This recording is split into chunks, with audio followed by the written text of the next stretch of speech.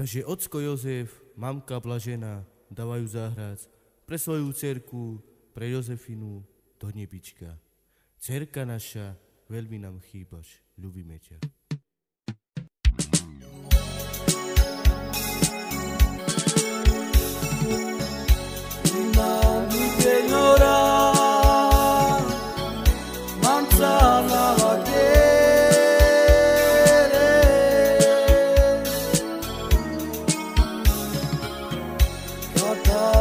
The perdla